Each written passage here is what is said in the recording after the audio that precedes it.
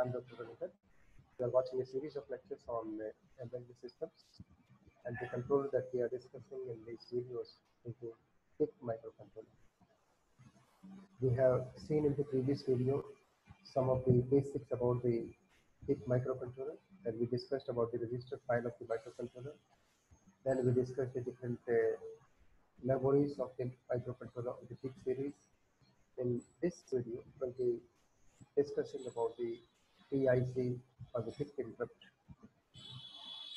the different type of interrupts that uh, are available in the PIC microcontroller. The topics that we'll be discussing in this video are the interrupt process, how a general interrupt process occurs or takes place whenever some kind of devices request the service of the controller.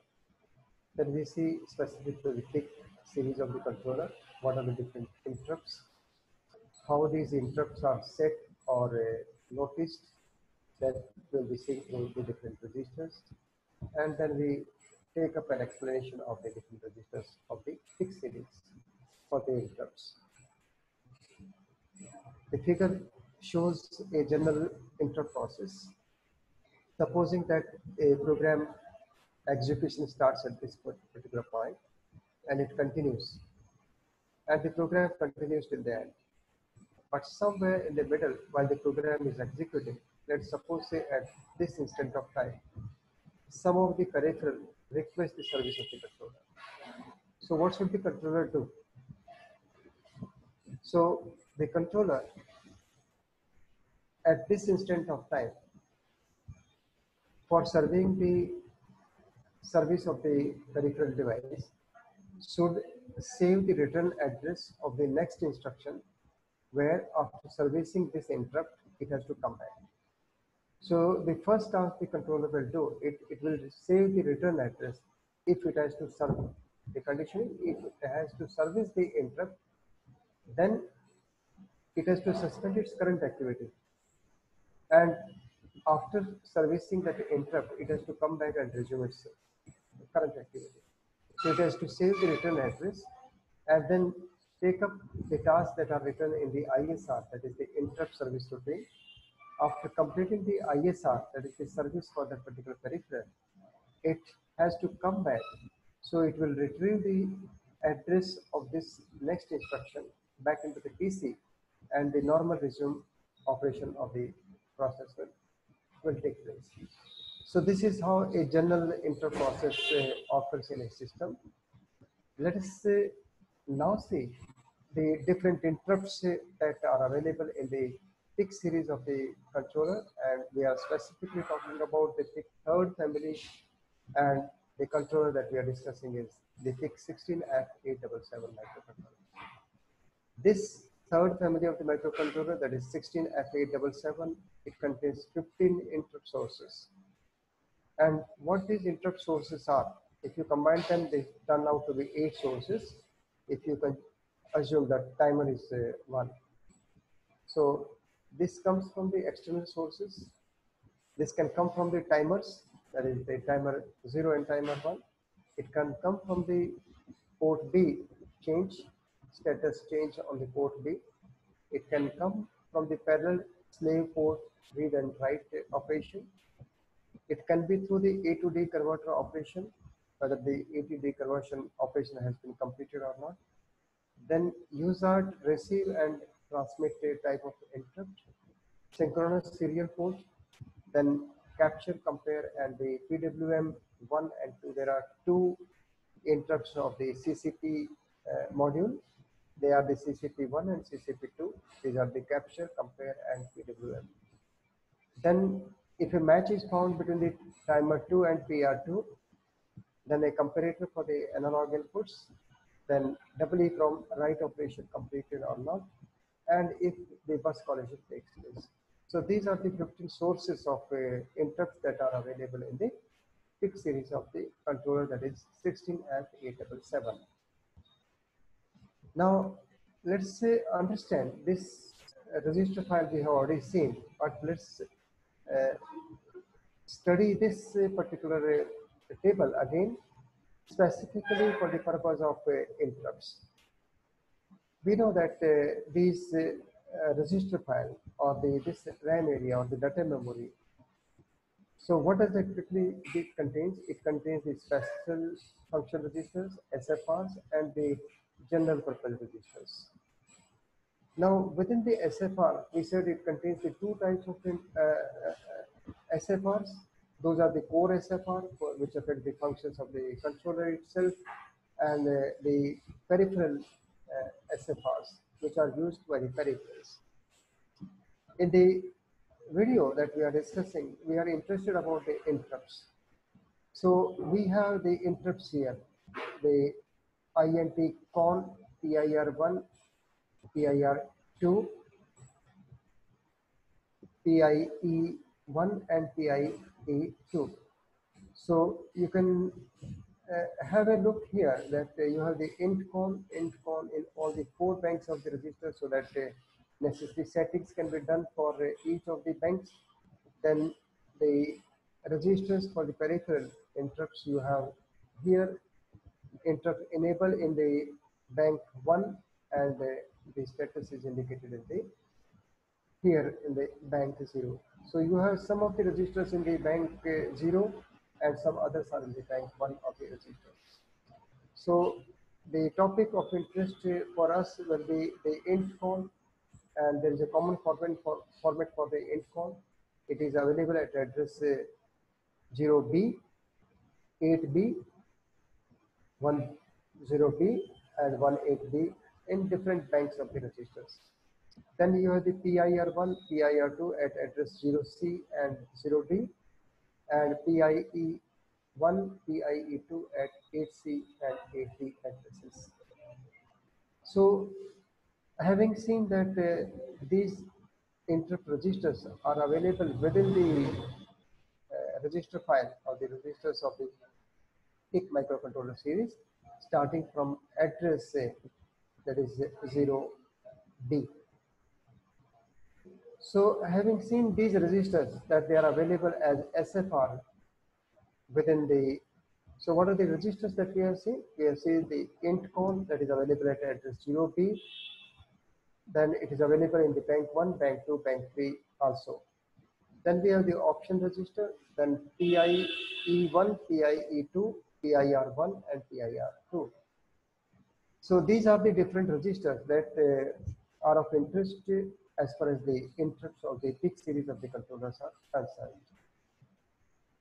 Now, after having seen these registers, let us discuss them in detail one by one. The intcon register. It is basically a 8-bit register and this register is basically used for setting the interrupts Let's see what these different bits of the register are. The bit number seven is the GIE, stands for the Global Interrupt Enable bit.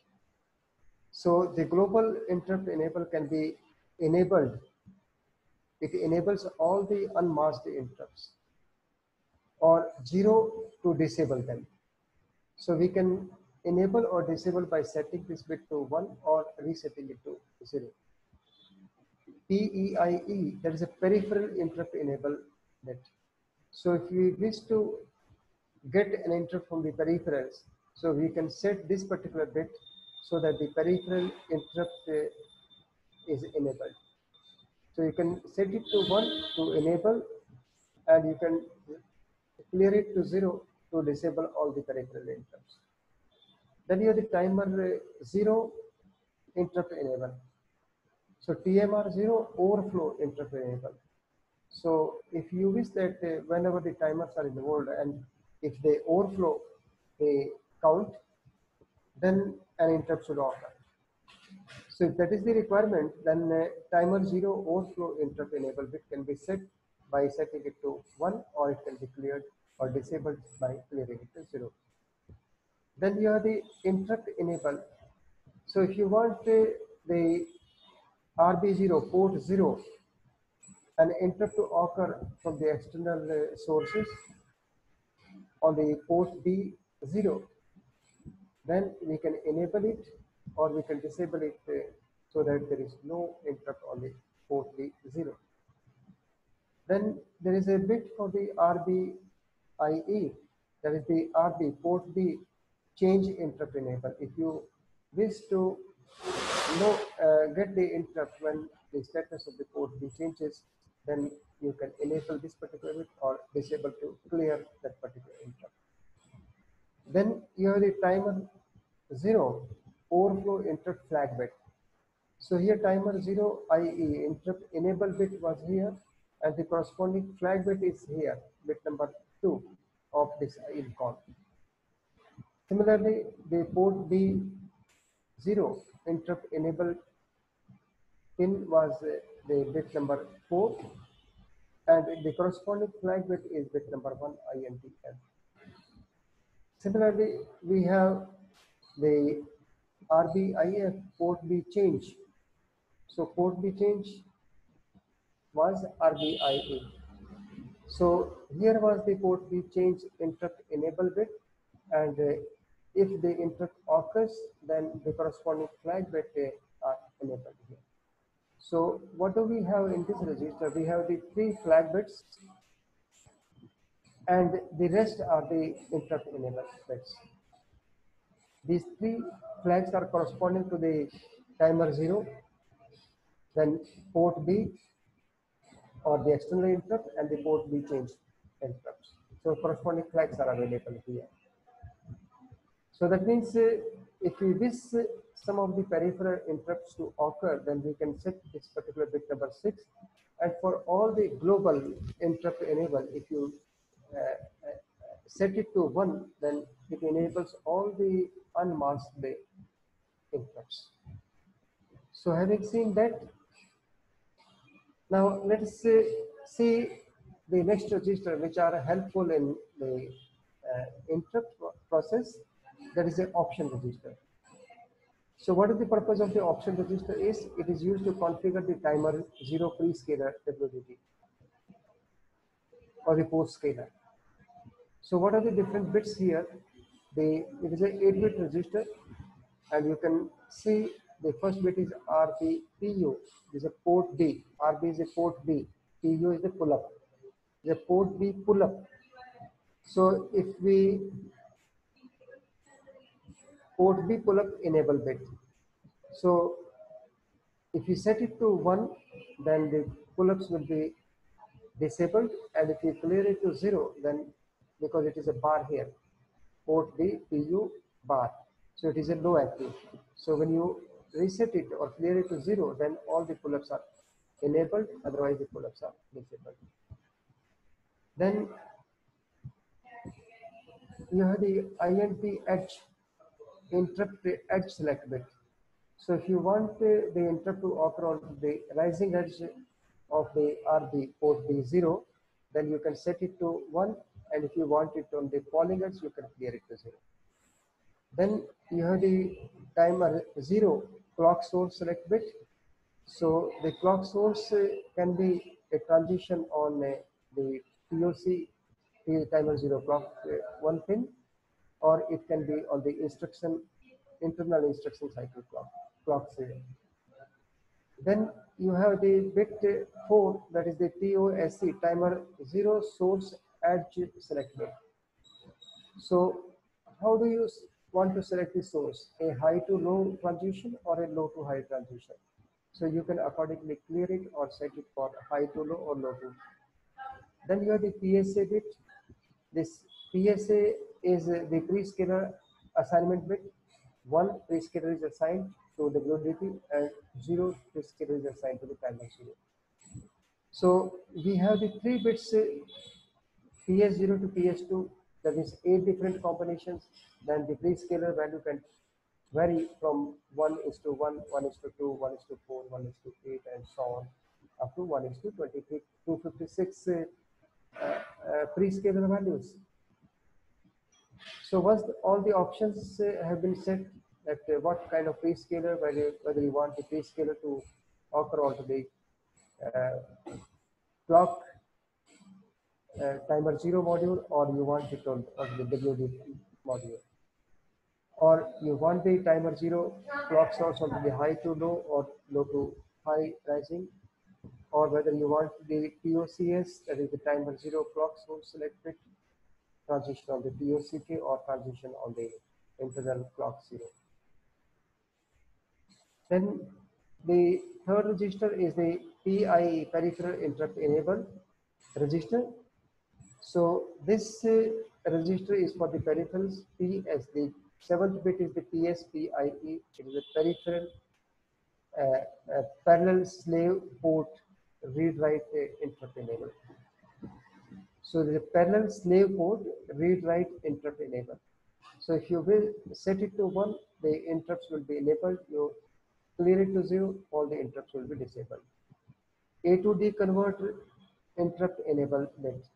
So if you want uh, the interrupt to occur onto the conversion completion of the A to D, then you can set it to one, otherwise you can clear it to zero. Then you have the USART receive interrupt enable. Then the next is the USART transmit interrupt enable. Then you have the synchronous serial port interrupt enable. Then you have the CCP module interrupt enable. Then you have the timer 2 to PR2 match enable bit.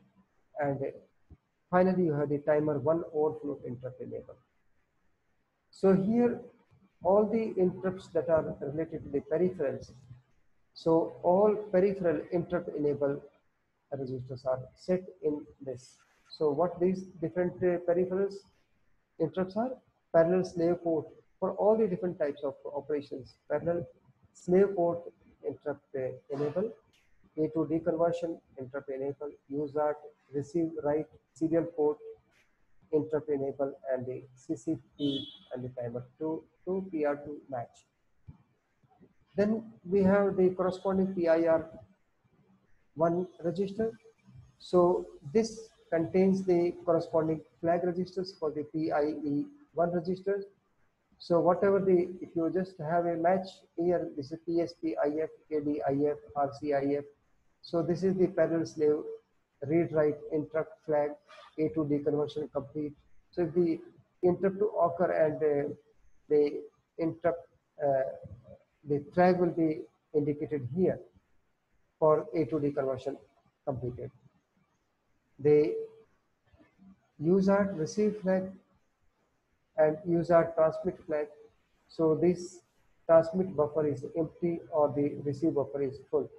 Then these corresponding flags will be set to one synchronous serial port, then the CCPIP, then you have the timer 2 interrupt flag, timer 2 to PR2 match flag bit, and similarly last one is the timer 1 overflow interrupt flag. So all the uh, bits in this PIR1 is the corresponding the flags of the PIE registers. Then you have the PIE2 peripheral interrupt enable second register. It contains the individual enable bits for the CCP2 module, then SSP bus collision and the EEPROM write operation and the comparator. So there are one, two, three, four, four interrupts uh, that can be enabled in PIE2 and the four are undefined here.